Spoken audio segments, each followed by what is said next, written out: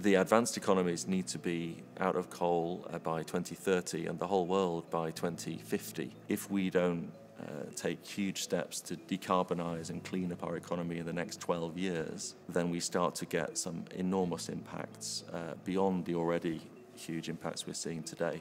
The new targets for increased energy efficiency and increased renewables are based at EU level, not at national level.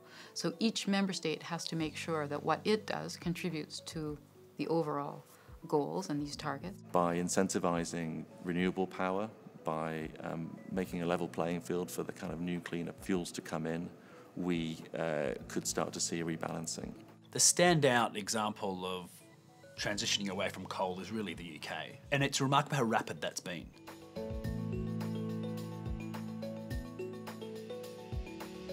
We had uh, coal-fired power in the UK in 1882, all through uh, the last 140 years or so. It's been a massive part of our economic story. We uh, realised that coal was such a big uh, polluter. We began to understand climate change much better. The government introduced a historic piece of legislation in 2008, which was the world's first binding uh, climate change legislation, committing us uh, to reduce our emissions by 80% by 2050. The carbon intensity of the UK power sector has halved in the period 2013 to 2017. And that is just based on the, the generation mix and how that has changed over that period. The politics lined up behind this idea and they put the mechanisms in place that have successfully delivered that. We brought in a number of measures like a, a carbon price to properly reflect the, the pollution that you get from coal. We brought in measures to help renewables uh, get started. And really, those mechanisms are ones that have priced coal out of the market increasingly. And now we're in a situation where, even though the announced date to be rid of coal in the UK is, is 2025, I think we're going to see increasingly close to zero coal in the market. We're here in National Grid System Operators Electricity National Control Centre.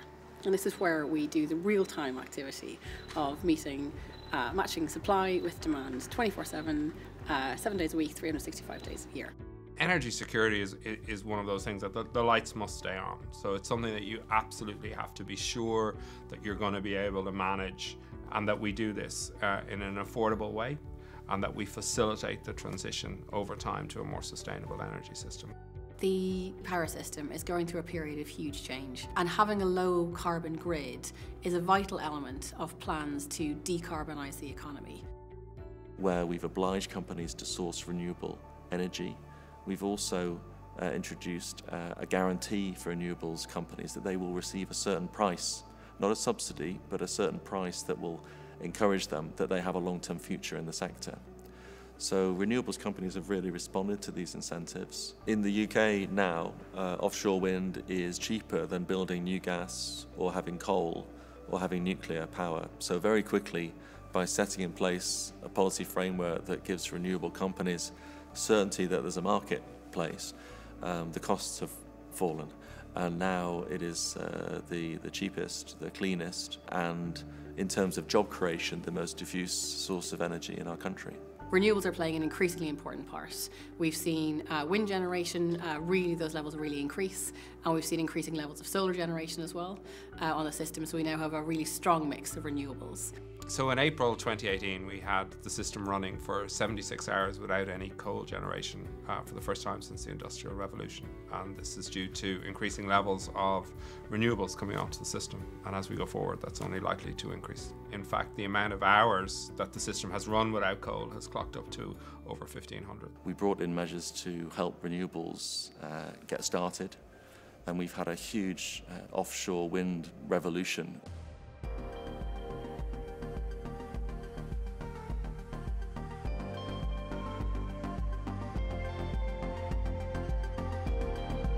The obvious challenge with lots of wind and solar is that there are times when the wind's not blowing and the sun's not shining. And this is a material problem. The challenges of keeping the system in balance as we look at increasing levels of renewable generation have got more difficult undoubtedly because a lot of that renewable generation is variable. Its output is dependent on the weather to, to a large extent. And therefore the challenges that the system operator faces around how do you match supply and demand in real time have increased uh, over the last while. The UK has a number of electricity interconnectors with other European countries that are operating today, and a number of other ones that are under development uh, into the future. These provide a number of, of benefits. So we have uh, interconnectors between the island of GB and continental Europe. Uh, to France and to Holland at the moment, and then also to the Republic and to Northern Ireland. They provide added security of supply, but also they increase the ability to manage variable renewable supply in the UK, but also with our neighbours as well. It, it, gives them the opportunity to balance it as well. Um, so overall, they increase the flexibility of, of the system and give you that added resilience in terms of security of supply. So if we think about a wind farm, when it's windy, you're going to get lots of output, and that might be at the time when people don't actually want to use that generation. If you can store that, then you can keep it and sell it back to them when they might need it. So we're starting to see more and more storage on the system as more people are understanding there is a market out there they could, you know, uh, partner up with a wind generator or with solar farms as well. So we're now mature in our experience of managing uh, wind generation. Um, we have really good forecasting models of what the output will be, which helps us understand what the variability and intermittency might look like. We have a number of new balancing services to help us manage that.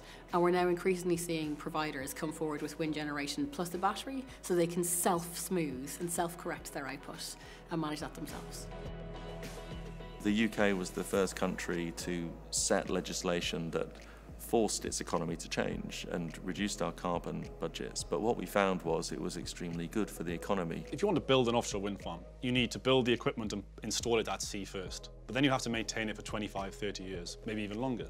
There are now more than 400,000 low carbon uh, jobs in the economy. That's growing incredibly fast. Suddenly, these jobs that are being created are highly skilled, they're long term jobs, so they're very valuable jobs. And these jobs vary from operating boats, operating vessels, you could be a wind turbine technician, or you could be making the advanced or most advanced blades in the world for wind turbines in your local town. And now suddenly offshore wind has totally rejuvenated places like Hull, for example.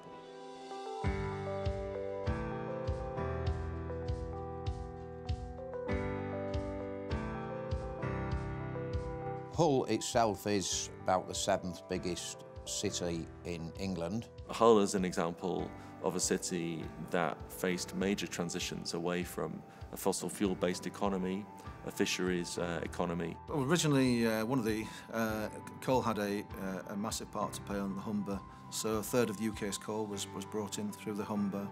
The fishing industry on the Humber was predominantly a, a huge industry. I mean, both Hull and Grimsby um, operate the two biggest fishing ports in the world. You know, it was always said that for every one person at sea, there was seven support staff required ashore. Well, I think it was uh, uh, very tough in Hull as the uh, industries uh, fell away and communities found it very hard to find new jobs and get skilled up. it was an incredibly tough process. And now we're seeing some of the most exciting developments in Europe with its leadership on offshore wind. Lots of changes, yeah. I mean, obviously we've got Siemens that's opened up next door to us. Um, there's Ørsted uh, uh, uh, crossing Grimsby. Overall, you kind of can see that the place has really started to, to grow and develop and become a really quite exciting place to be now. And I think it's been quite um, key, this kind of renewable energy revolution that's kind of come into the Humber. The Humber's perfectly placed for offshore wind. Uh, geographically, it's in the kind of centre of the existing and proposed offshore wind farms. We're putting offshore wind turbines into the North Sea 100 times faster than when we first started. So if you're looking for productivity in the economy, if you're looking for a clean, green source of energy, then this is a really exciting story. Ørsted in the UK have now 11 operational wind farms with two wind farms in construction.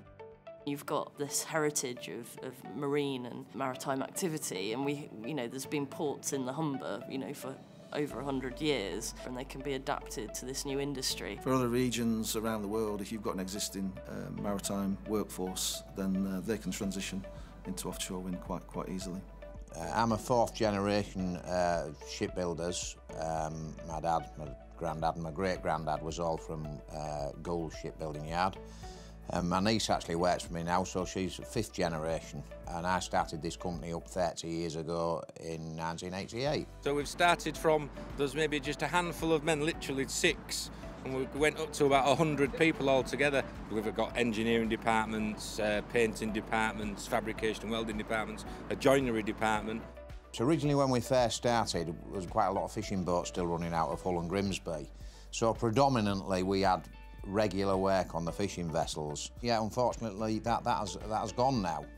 Um, obviously with offshore wind, we're all hoping, and I'm quite sure there's lots of opportunities for us to take and grasp these while they're available. The vessel which we'll be getting delivered shortly is a, is a nearly new vessel.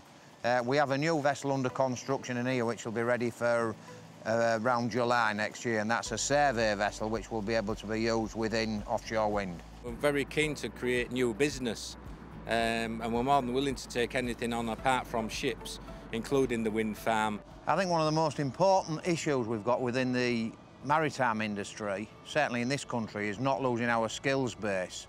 You know, the people that build ships, repair ships, that sail the vessels are highly qualified, and it's important that we get a throughput of young people working within this industry. And really with the wind farm industry now, it is creating a lot more opportunities for this to happen.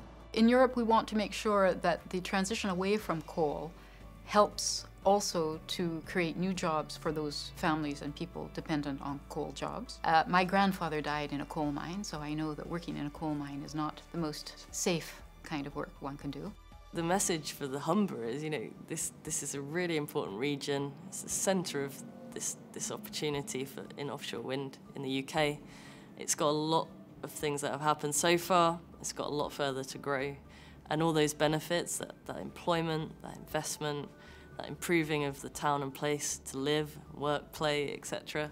You know, it's all really good stuff. So, um, yeah, really positive message for the future of offshore wind um, in this region. What we've been told is that you know we're kind of blueprint really for creating jobs from renewable energy. The world is changing. We need to be at the crest of that wave, not not behind it. And I think that's what the UK has done well. They want to be on the crest of that wave and recognising the change in technology and the change of opportunity. Um, but it's required the politicians and the rule makers to see that as well and to, and to come together on it. We have seen the benefits of transitioning uh, very rapidly to renewable power, and we can see the opportunity to do that around the world. And it's great for our economy, for our jobs, for our skills. It's also just necessary and urgent for our climate. So I see our role now as working with others to see how we can accelerate that transition around the world in a way that is good for those economies and good for those citizens and those businesses. Once we brought uh, communities and businesses and government officials together and set in place some uh, good policies, we saw an extraordinarily rapid shift to a cleaner, um, greener model. So it can be done. The challenge is enormous, it's unprecedented in human history, but it can be done when people get together and, and understand what's needed and work together to make sure that they ensure it's fair for everybody. It can be done and it has to be done.